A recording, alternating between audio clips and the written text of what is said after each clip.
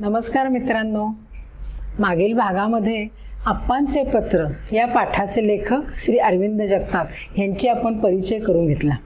आज आपल्याला शिपाई काकांच्या रूपामध्ये आपल्याला ते पत्र सांगतात त्यांची भाषा आणि लेखनशैली इतकी सहज आणि सोपी आहे की पोस्टमन काका आपल्याशी समक्ष बोलतायत असं चित्र आपल्या डोळ्यासमोर उभं राहतं.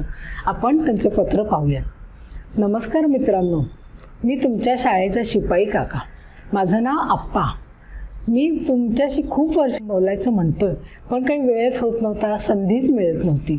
तुम्ही घाबरू नका. मी काही तुम्हाला सूचना करणार नाही उपदेश देणार नाही अभ्यासाचं काही सांगणार नाही.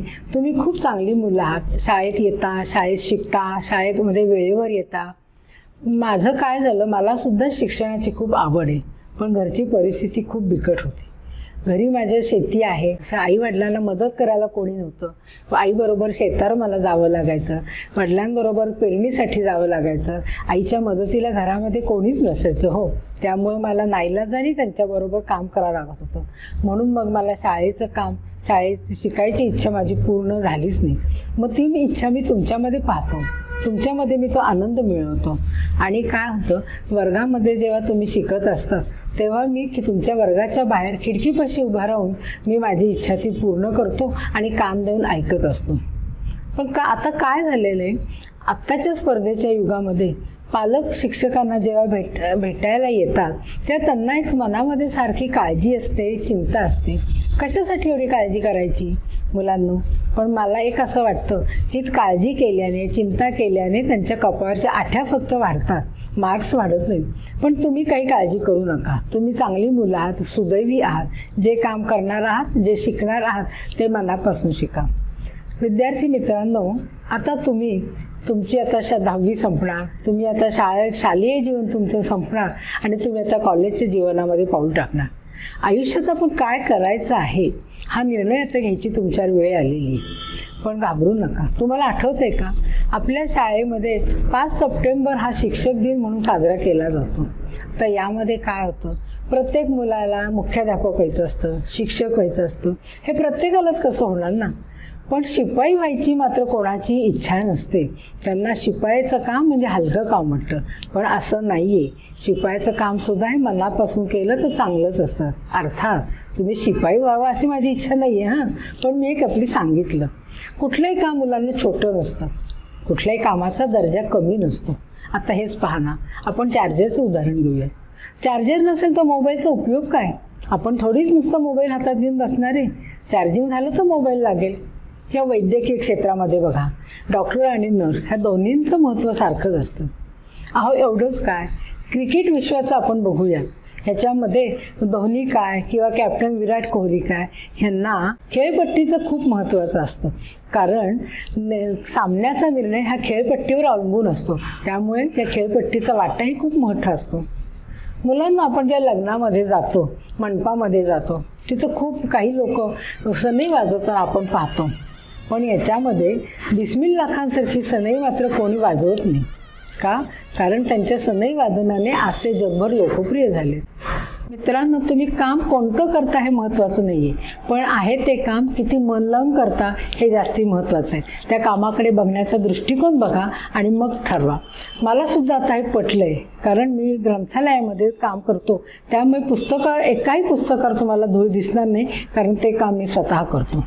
मित्रांनो आज असं झालं आहे की प्रत्येकाला डॉक्टर बनायचे प्रत्येकाला इंजिनियर बनायचे पण प्रत्येक जर डॉक्टर बनला तर पेशंट कोण उरणार?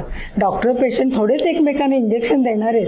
तर असं नाही. प्रत्येक क्षेत्रामध्ये काम करण्यासारखं आहे. प्रत्येक क्षेत्राला दर्जा आहे. फुलपाखरांच्या मागे पळताना मुलांना मी तुम्हाला खूप वेळा पाहिले पण त्या फुलपाखरांचा तुम्ही रंग पाहताय का?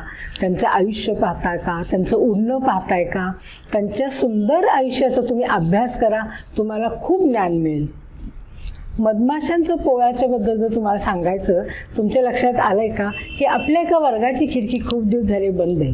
ती खिडकी उघडा पहा. ह्या खिडकीच्या इथे मधमाशांनी एवढं पोळं करून ठेवलं आहे. हे मधमाशांचं पोळं म्हणजे त्यांचं घर आहे. हे घर आपण सुद्धा इतकं परफेक्ट बनवू शकणार नाही. किती त्या माशा किती कष्ट करून मध गोळा करतात ह्याच्यावरून आपल्याला त्यांच्या किम कष्टाची किंमत आणि गंमतही समजेल. मित्रांनो तुम्हाला एक मला असं सांगायचं आज मुंबईसारख्या ठिकाणी एक सद्गृहस्थ प्रत्येक सोसायटीमध्ये जातात तिथलं प्रत्येक घरामध्ये जातात. कशासाठी? तिथलं नळ ते तपासतात. बेसिनचं नळ गळतोय का? बाथरूमचं नळ गळतोय का? काय त्यांचं काम असेल त्यांना त्याचं काही काम नाही पण आपण एक चांगलं काम करतो. आज ह्या मुंबईसारख्या ठिकाणी लाखो लिटर आज ते पाणी वाचवत आहेत आणि हे पाणी वाचवणं पाण्याचा प्रत्येक थेंब वाचवणं म्हणजे दुःखी माणसांच्या डोळ्यातलं पाणी पुसण्यासारखं आहे हं? म्हणजे किती महत्त्व आहे बघा. मुलांनो आज मुलं वाढदिवस साजरे करतात. आज वाढदिवस साजरे करायची पद्धत इतकी वेगळी आहे. आज काही औक्षण करत नाहीत काही नाही. पण आजचा वाढदिवस म्हणजे केक कापणे बाहेर पार्टी करणे बाहेर जाणे मुलांना गिफ्ट देणे आणि मोठ्या प्रमाणात नुसतं पैसा घालवणे हे आजच्या पार्टीचं स्वरूप आहे. पण एका मुलाने काय केलं माहिती आहे का?